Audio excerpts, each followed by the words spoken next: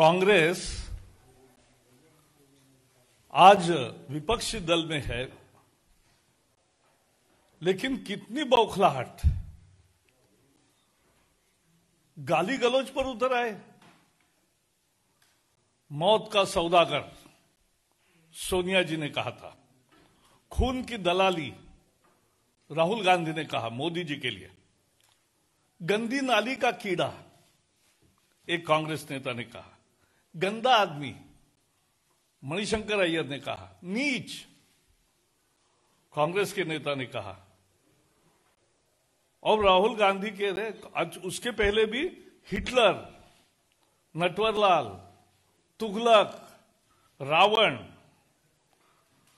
निकम्मा, भस्मासुर, न जाने गालियों की सारी डिक्शनरी खत्म कर रहे हैं। मोदी जी का मुकाबला नहीं कर सकते, मोदी जी पर आरोप नहीं कर सकते, इसलिए अब गाली गलौज करना यही कांग्रेस का मकसद बन गया है। यह छटपटाहट है। और कल तो कांग्रेस एक नेता ने कहा, मोदी माने क्या? मसूद, ओसामा, दाऊद और आईएसआई। यानी कितना सार्वजनिक चर्चा का स्तर गिराएगी कांग्रेस।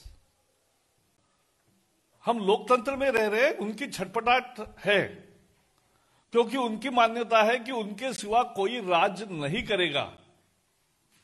और अब मोदी के रहते ये सत्ता पर आने का खाब भी नहीं देख सकते, इसलिए ये गाली गलोच है। और ये गाली गलोच कांग्रेस की संस्कृति है, कांग्रेस की सोच है। कांग्रेस के डीएनए में है ये सब गाली गंदी गाली कर देना।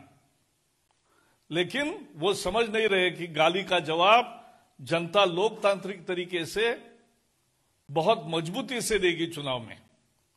क्योंकि कभी देश ने गाली गलौज की संस्कृति को स्वीकारा नहीं है। उसके साथ साथ और भी एक कर रहे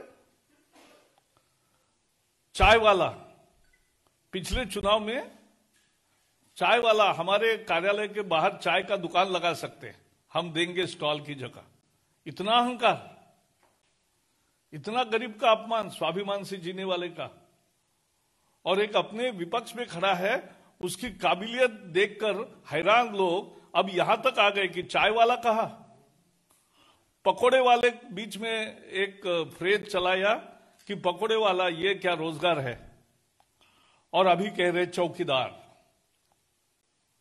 तो ये गरीब के लिए चौकीदार, और ये सम्मान से नहीं बोल रहे, चौकीदार चोर है बोल रहे चाय वाला यानी गलत है, ऐसा बता रहे पकोड़े वाला यानी मेहनत से कमाने वाला हर इंसान गलत है। जो बेईमान की कमानी खाता है, कमाई खाता है, वही केवल कांग्रेस में पाक साफ़ है। जो बेईमान की संपत्ति खाता है, बेईमानी से मेहनत न करके उनका सम्मान कांग्रेस में है और जो मेहनत करता है, वो चाय वाला हो, पकोड़े वाला हो, चौकीदार हो, उसका अपमान करते हैं। और ये भी समझ ले कांग्रेस कि गरीब का ऐसा अपमान करने वालों को गरीब कभी बख्शते नहीं, क्योंकि वो स्वाभिमान से ज़िंदगी जगते मेहनत से ज़िंदगी जीतते हैं। और उसको आज इस तरह से गाली गलौज पे जब कांग्रेस आती है तो कांग्रेस की छटपटाहट पूरी समझ में आती है। देश भर में, दुनिया में कहीं भी लोकतंत्र चुनाव में चर्चा का स्तर कभी भी इतना नहीं गिरा जितना कांग्रेस ने गिराया है। हम उसकी भर्सना करते हैं।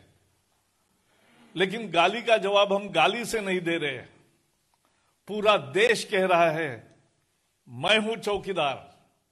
और चौकीदार है इसीलिए चोर भाग रहा है।